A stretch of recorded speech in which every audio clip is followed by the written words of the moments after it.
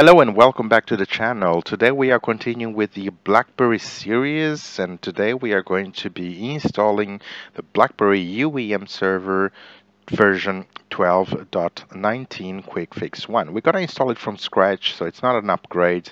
The upgrade steps are basically the same. However we are just going to be performing a full install this time around Okay, let's get straight into it. So for you to install BlackBerry UEM server, there are some pre-installation and pre-upgrade tasks that we need to complete. So BlackBerry UEM server requires Java, um, it also requires Microsoft SQL. That is basically it, really. Um, I do have another video where I talk about the requirements as well as the ports and Java. I'll leave a link in the description if you want to go over and watch that video. Now, for um, the UEM server upgrades, so as I mentioned, there are a couple of pre-upgrade um, or pre-installation tasks that you need to complete. So if we go over to docs.blackberry.com and select 12.19 as the version for BlackBerry UEM and then go over to the documentation, there is a pre-installation and upgrade task um, documentation. And the first thing we need to do here is to configure permissions for service accounts. If if the service account is different from the um, admin account, so I'm using the default admin account because this is a test environment, so it's a VM powered by Hyper-V on my computer and I don't need to do anything in terms of uh, the service account. So the second thing that we need to do is set an environment variable uh, for the Java location. So we need to install Java and then set that environment variable for the Java location. So UEM 12.19 requires JRE 17 um, and this is what we are going to download and install. So here on the other side, I've got here opened the BlackBerry UEM compatibility matrix. So the BlackBerry UEM comp compatibility matrix gives information about which operating systems are compatible, which which SQL servers are compatible, etc. So here. Um, I am using Microsoft uh, Windows 12 uh, 19 and it is fully supported uh, as you can see here. So you do have other other versions here like Windows Server 2022 which is also supported. Um, if we go over here to SQL Server we can then see uh, which SQL servers are supported. Um, 2022 2019 um, 2017 we've got limited, um, or it, it is supported as well, and then we've got limited support here for 12, uh, 2014. Now let's go back down here into um, Java. And if we look here at the Java requirements so it does say here that JRE 17 latest update version is supported for UEM 1219 if you are a business, really, you need to pay for a Java license. There are options out there, like, for example, OpenJDK that you can use. Um, it's completely free, um, and for corporate use, you don't have to pay. I'm going to use it for personal use, and then I'm going to delete it anyway, so I'm not purchasing a license for Java. But uh, if you are a business, you might want to get yourself licensed. So I go over to the Java website or the Oracle website, make sure that I'm on the website here. So as you can see, uh, oracle.com Java. And I'm going to accept this and then I'm going to look here for the latest versions. Download here the latest Java available. And we are going to use here Microsoft Windows. Um, I'm going to download the uh, installer and I can get the installer from here. You can also download the zip file or you can download the MSI installer as well. So this will be the exe file that I'm downloading. So that is currently downloading. And at the same time, actually, whilst this is going, I, am going to download um, BlackBerry UEM server. So to download BlackBerry UEM server, so uh, all, all I need to do is go over to the BlackBerry uh, website. So I can search here for BlackBerry My Account, for example. This will then provide me the results and the first one here for me to log into my account. I have to mention that you need to be registered to be able to log in to my account. So already have an account that I'm going to use to log in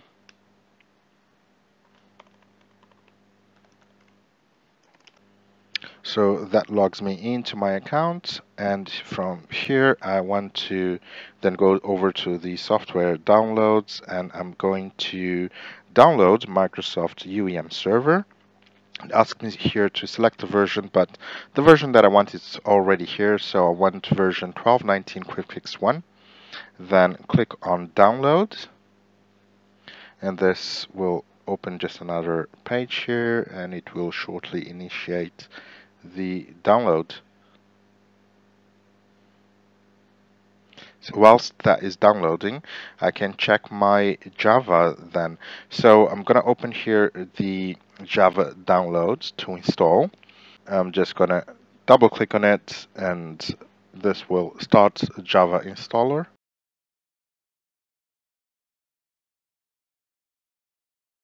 Java is now successfully installed. Just going to click on close. We are going to set the environment variable. And how do we do that? We look back at the documentation and the documentation has step-by-step -step guides on how to set the environment variable for the for the Java location. So here we go. So what we need to do here is open Windows Advanced System Box Settings. And how do we do that? We can search here, or the easiest way to do it is to search for Control Panel. And open up Control Panel. And going to select this by large icons. And on the control panel what you need to do now is click here on system. There is another way to get there but this is actually pretty easy. Then click here on advanced uh, system properties. So what we need to do now is click on environment variables. So we click here on environment variables.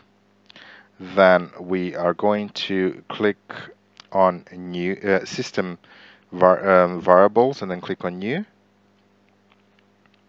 So if we go here to system variables, then click on new.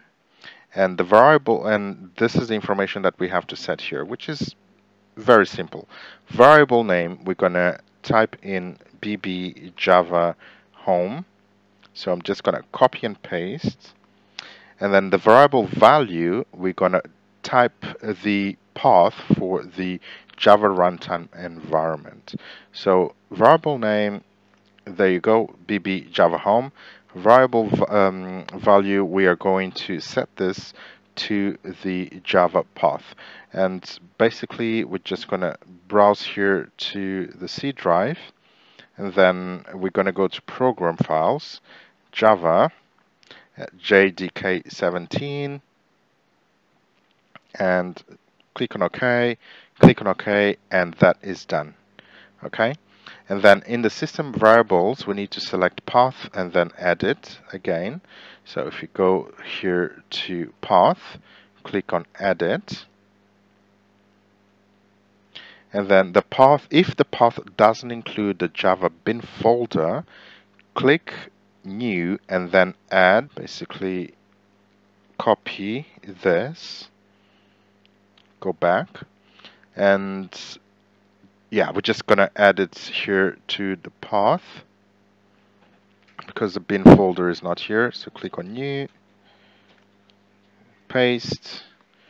Click OK. Okay so once that is done the um, step number eight here so we need to move the Java home bin folder up to the top of the list. That is step number eight that we have to do. So basically on step number eight, uh, what we want to do is click here on edit again and then the bin folder, we're going to move it up all the way up to there. Click on OK, click on OK, click on OK and the Java runtime path is set So we are finished with the Java Home Runtime and we are going next to install BlackBerry UEM Server. I'm going to open here the uh, download folder and I'm going to extract everything here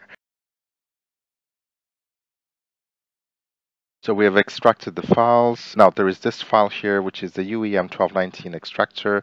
We're just going to double click on it, and this will extract all of the files necessary to install UEM onto C BlackBerry UEM by default, but you can change it. Um, not going to launch uh, the auto run yet after unzipping, but I'm going to just click on unzip here and it's going to just unzip everything onto the C drive BlackBerry UEM folder.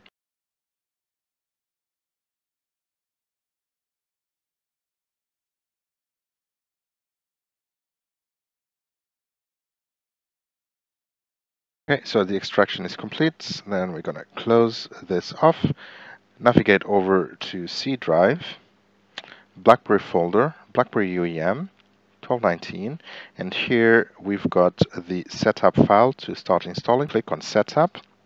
This will start BlackBerry UEM installation. So just give it a few seconds here. Um, I've just double clicked here on setup.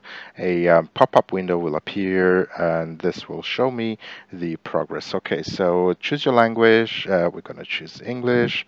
Um, it starts up here. So it's preparing to set up the application.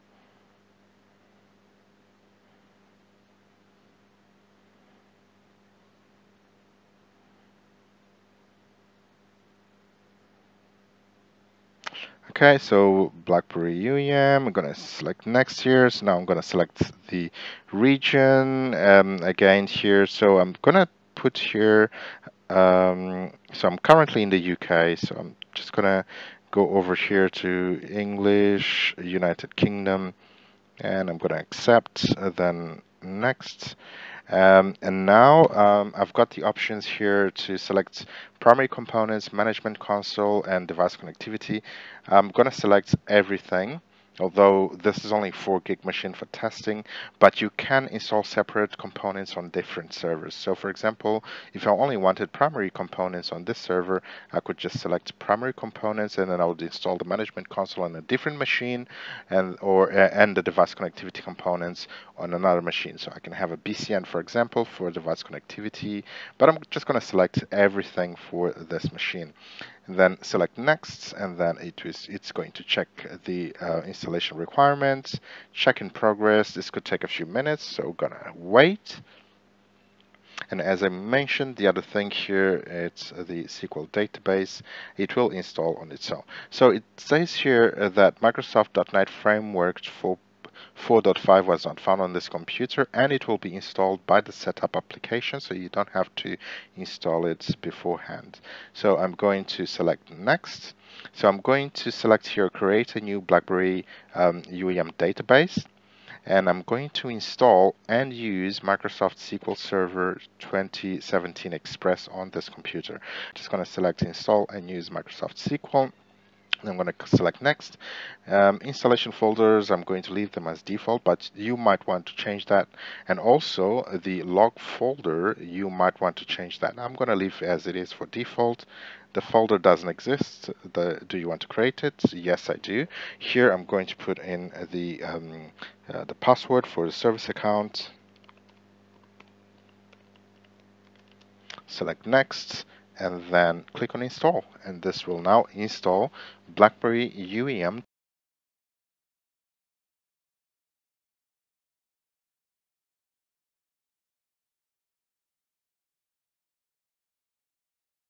So I am going to click on next right here and I've got the links here to the management console as well as to the self-service. So I can export these um, links to uh, or addresses onto um, text file. So if I click close, export console addresses to a file, and I am just gonna save this over here on the desktop. Save, and the links will be saved on the desktop. Now, um, this is a 4 gig uh, machine, so um, it's uh, very low on resources. However, it still will work.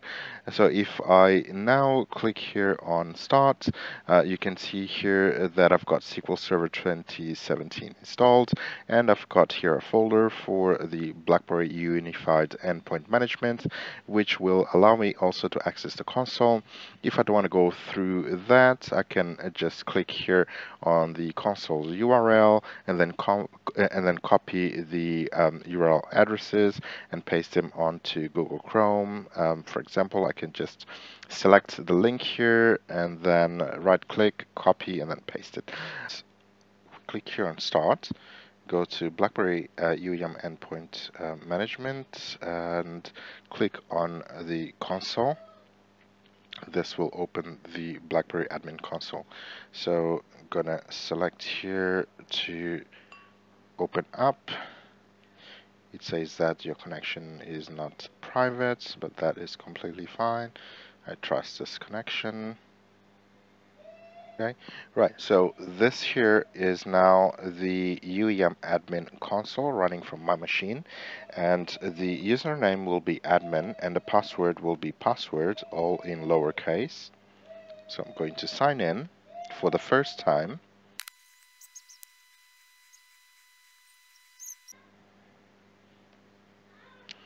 Okay, so once you log in for the first time, it's going to ask where is your server location. So in this case, I'm going to select here United Kingdom, click on next.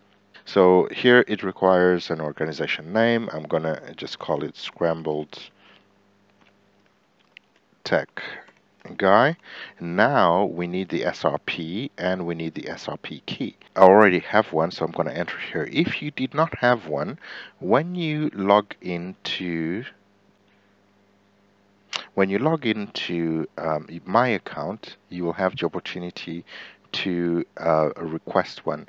I'll, I'll, I'll, not go through it now, but I'll make another video showing you how you can get your SRP address as well as your auth key. So for now, like I mentioned, as I already have one, I'm going to enter my uh, my SRP ID and um, auth key here, and enter it here. Okay, so I've got the SRP ID, I've got my SRP key, and click on submit.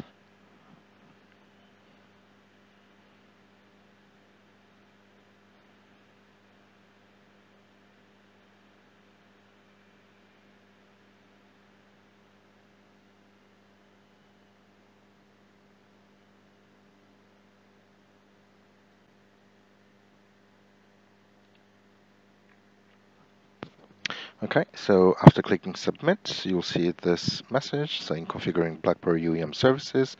It may take some time to configure the services. Okay, so it is now, uh, so UEM is now configured and up and running. So the first screen, welcome to BlackBerry UEM which devices you will be managing.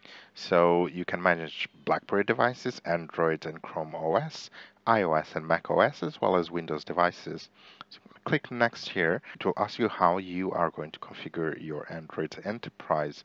At this moment, I'm not going to go through this configuration, but I will be doing a configuration later down the line, so I'll show you how to do that. Um, and then you've got some other steps here, such as download signed CSR certificate from BlackBerry, I'm going to skip it for now and I'll show you how to do this as well on another video. And here we've got um, your security in your organization if you wanted to leave it by default. If it's medium security or high security, I'll leave it by default for now. Um, and then uh, this is something that we can configure later. I'm going to select here not to show this at stop startup again, so these are just uh, uh, quick screens. And then this is what the dashboard looks like. And this is it for the uh, BlackBerry UEM server installation. So yeah, this is it really. Um, yeah, if you did enjoy this video, please do hit that like button and please do subscribe to the channel as well so you are updated with the latest developments in the BlackBerry UEM space. Thanks for watching, take care and I'll see you in the next video.